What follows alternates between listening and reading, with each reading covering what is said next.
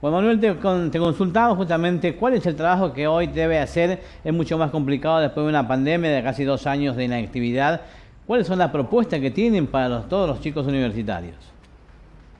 Bien, bueno, sin duda uno de los desafíos más grandes que tenemos nosotros como universidad y además el sistema universitario en el país es ver cómo volvemos a la presencialidad. Sí. Cómo eh, amoldamos también la virtualidad para aquellos estudiantes superados, eh, superiores gracias a esta eh, que además otros desafíos como por ejemplo cómo para que cinco de estudios el año pasado una pandemia qué herramientas nosotros desde eh, la universidad para contenerlos, para pedir que vuelvan, para que continúen sus estudios. Eh, en, por ejemplo, donde tendremos que amoldar cuestiones administrativas, cuestiones académicas, eh, distintas, digamos, concepciones en donde nosotros como, como universidad, como movimiento estudiantil, eh, desde los centros de estudiantes, desde la federación, ponemos a disposición también de la contención de todos esos cientos de estudiantes que el año que viene van a volver a la presencialidad y también aquellos que eh, necesitan seguir sus estudios a través de la virtualidad. Emanuel, hace un par de días atrás, eh, Tadeo Berenguer, el sector de la universidad, daba a conocer que se iban a instalar eh, equipos, o sea, mm, computadoras en las diferentes casas de altos estudios, justamente para que eh, los alumnos pudieran trabajar desde la facultad. ¿Ya se han instalado estos, estos lugares? Todavía no se instalan, eh, es un programa que se llama Punto Digital, en el cual la universidad, en este marco de poder darle eh, algunas herramientas a estudiantes que no tenían, pues tenemos dos inconvenientes con la virtualidad, aquellos que no tienen acceso a la conectividad, acceso a Internet, y aquellos estudiantes que no eh, tienen acceso a las tecnologías. Por ejemplo, nos ha pasado que muchísimos estudiantes que han podido continuar de una manera defectuosa por ahí los estudios en el pasado lo hacían desde un teléfono celular. Y si bien escuchar una clase de un teléfono celular eh, puede llegar a ser una alternativa, eh, poder estudiar, poder leer un apunte, se nos hace muchísimo más complicado. En ese marco es que la universidad invierte para la compra de, eh, no tengo el número exacto acá, pero son cientos de computadoras de notebook que se han repartido en las distintas dependencias, en las distintas unidades académicas, para crear lo que serían puntos digitales. Serían, digamos, como salas de computación o, digamos, algo así por el estilo, en donde los estudiantes pueden, en el momento de cursar, ir y ocupar esa, esas notebooks eh, y, tener, digamos, acceso a Internet y garantizar también el acceso a la herramienta tecnológica. Visión desde la federación eh, con respecto al tema presencialidad y virtualidad, porque desde venimos escuchando mm, desde la palabra del rector, de los que dirigen la universidad, eh, de que eh, la virtualidad va a ser muy importante, que ha venido para quedarse, pero eh, por otro lado están los que dicen la presencialidad, la presencia del docente en los claustros es irreemplazable. ¿Cómo lo ven ustedes? ¿Cuál es la visión que tienen? Sin duda, nosotros pensamos que la universidad y el sistema universitario tiene que ir hacia un proceso de bimodalidad, en donde por supuesto que la presencialidad es la herramienta más importante que tenemos para nuestra formación académica, técnica, ciudadana también, dentro de la universidad y que es irreemplazable, cierto, que es irreemplazable, eh, el contacto entre, entre los docentes y los estudiantes, el contacto entre compañeros, estudiantes, donde se arman también los grupos de estudio, donde se va, digamos, dinamizando eh, una cuestión de la vida universitaria, pero la pandemia nos puso eh, o nos profundizó una problemática o nos visibilizó una problemática que es que hay cientos de jóvenes, o no jóvenes, estudiantes, que estudian y trabajan, o que tienen cuidados familiares y también estudian, eh, o que viven en departamentos alejados y no tienen la posibilidad de por ahí venir a alquilar eh, un, un departamento a, a, la ciudad o al lugar, digamos, de, de estudio. Y eh, nos encontramos ante la obligación como universidad de poder brindarles herramientas necesarias a todos esos cientos de estudiantes para que puedan continuar sus estudios, porque tienen los mismos derechos que el estudiante que vive a dos cuadras de la facultad. o estudiante que eh, tiene todo el día para poder eh, eh, formarse profesionalmente. Bueno, ese creo que es el desafío de la universidad. La presencialidad va a ser el camino, va a ser primordialmente lo que se, se, se vuelva, digamos, se establezca prioritariamente, pero la universidad necesita generar herramientas, necesita herramientas para contener a todos los estudiantes que tienen otras necesidades. Ahora, ¿alcanza, alcanza con esto, con, esto que, te consultaba recién Jorge, precisamente de esta instalación, de estos espacios y todo lo demás? ¿Va a alcanzar para no. no? No, no, sin duda que no alcanza. Es un paso más, pero que van hacia la misma dirección, pero no alcanza. Desde Nación, desde la Secretaría de Políticas Universitarias, se ha establecido un, un proyecto bastante importante es la creación de aulas híbridas, eh, que son digamos, aulas donde el docente y los estudiantes van a ir presencialmente a tomar las clases, pero a su vez van esas aulas van a estar siendo grabadas para después subirse o, o sincrónicamente también subirse o asincrónicamente en, horas posteriores al campus virtual. Entonces aquel estudiante que no, por distintos motivos, no pueda llegar a la presencialidad, bueno, va a tener el material disponible en el campus virtual, que digamos, es la herramienta tecnológica que, tiene la universidad y que es de acceso libre para, para, digamos, para todo el mundo porque es .edu.ar eh, y digamos, las páginas de educación son de acceso libre, no consumen datos, no eh, sobre todo datos digamos, en, los teléfonos celulares. Em, va a poder el estudiante tener la posibilidad de tomar la clase, de seguir al profesor, seguir digamos, con sus estudios en horarios asincrónicos em, al cursado. Por supuesto que eso requiere un esfuerzo presupuestario enorme de nación, enorme de la universidad y que tenemos que ver cómo rápidamente se ejecuta. Porque eh, si tenemos nosotros en las distintas facultades una cantidad enorme de, em, materias dictándose al mismo tiempo y las aulas híbridas son 10, 15, que es más o menos lo que se está pensando por eh, facultad, dependiendo del tamaño, eh, también va a ser poco. Entonces, bueno, creo que esto es un proceso que no se va a, solucionar de lo inmediato, pero sí que el Estado Nacional, los Estados provinciales, tenemos, tienen que empezar, tenemos la obligación, digamos, de empezar a pensar eh, a la educación en un contexto de que también la virtualidad va a ser una herramienta.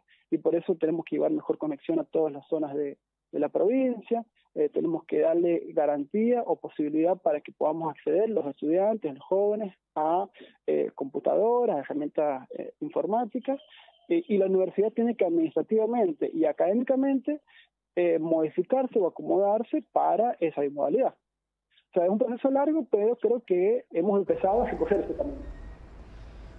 Manuel, tengo entendido que hay una muy buena noticia para los alumnos universitarios que tiene que ver con la regularidad y que no han podido justamente por estos años de pandemia. ¿Hay buenas noticias en ese sentido? Sí, sí, sí, bueno, un proyecto presentado por los compañeros de, de BEA, que conducen varios centros de estudiantes en, la facultad, de cual, bueno, yo soy parte, eh, y lo que se presentó es el pedido de, de la regularidad. Eso quiere decir, o sea, el ejercicio de la universidad, uno, uno como estudiante cursa una materia, regulariza, o sea, lo que se llama sacar la boleta, y esa boleta le dura dos años, o sea, dos años académicos posteriores para poder eh, rendir el final. Bueno, eh, ha pasado la situación que hay muchos estudiantes, por ejemplo, han cursado una materia en el 2018, tenían dos años para poder rendir el final y nos agarró la pandemia.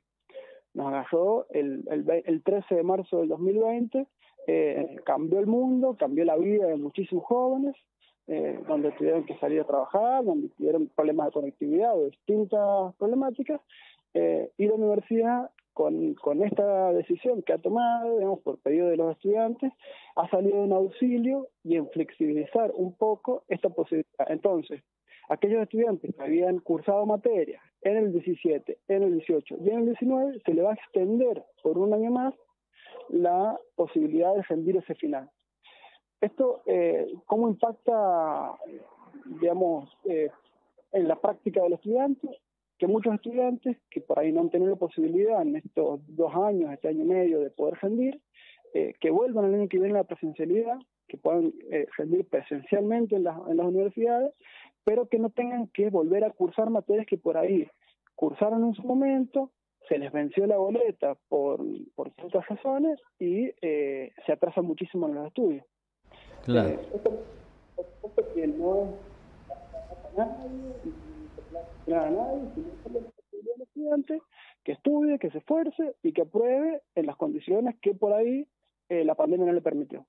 Juan Manuel, eh, en este contexto que, que estamos insertos de, de, pandemia, imagino que eh, va a ser eh, más que prioritario poner énfasis, eh, por ejemplo, en, becas, comedor universitario, todo ese tipo de, cosas, ¿no? Sin duda, sí, sin duda. Creo que, que, bueno, en un contexto en donde primero, digamos, a través de por el macrismo eh, y después por la pandemia se profundizaron las desigualdades en un gran porcentaje de nuestra población y fuimos, porque somos siempre los jóvenes, los que por ahí nos llevamos las, las peores crisis, digamos, la, tenemos trabajos informales, eh, y las tasas de situación son más altas en nuestro rango etario, eh, por ahí nuestra realidad eh, es un poco más difícil que, que, que en otros rangos etarios.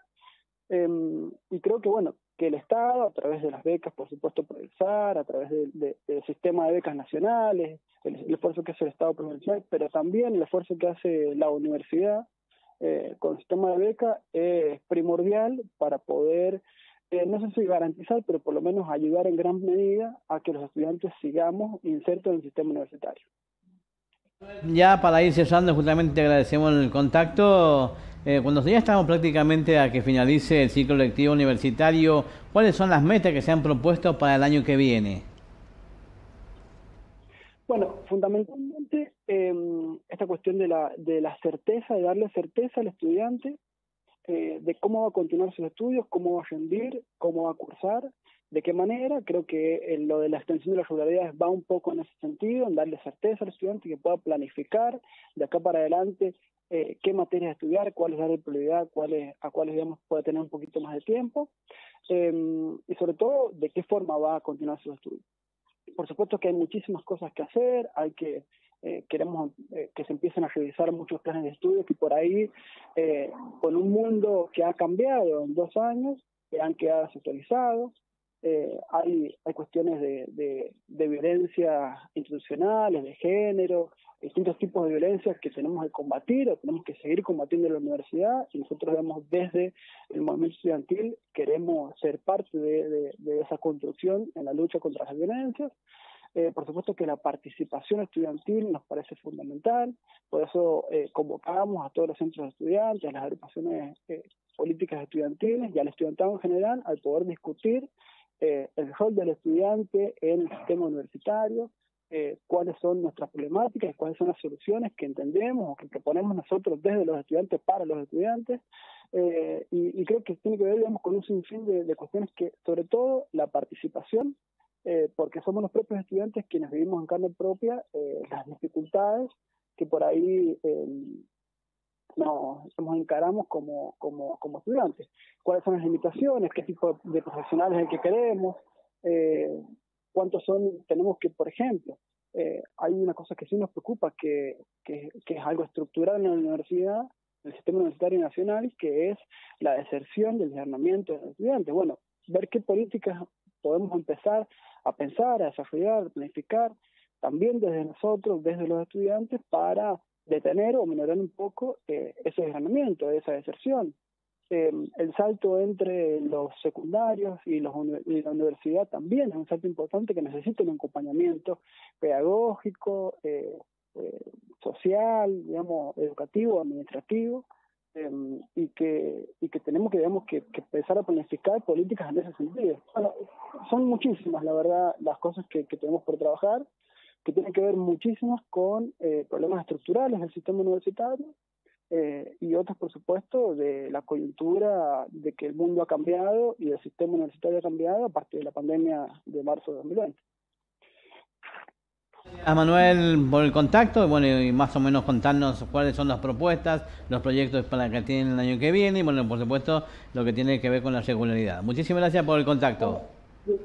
Sí, antes de, de empezar, quería bueno, un fuerte, fuerte abrazo a la familia, y a los amigos y compañeros de Florencia Ledesma, que es una compañera estudiante de la Tecnicatura Universitaria en Administración Pública de la, de la Universidad Nacional de San Juan, de la Facultad de Ciencias Sociales, que ayer tuvo un trágico accidente en Alberdón y, terminó, digamos, fatalmente su vida. La verdad que, bueno, es un hecho absolutamente doloroso para nosotros como universitarios eh, y como jóvenes, y bueno, queremos también acompañar eh, y, y jugar, digamos, por, por su alma.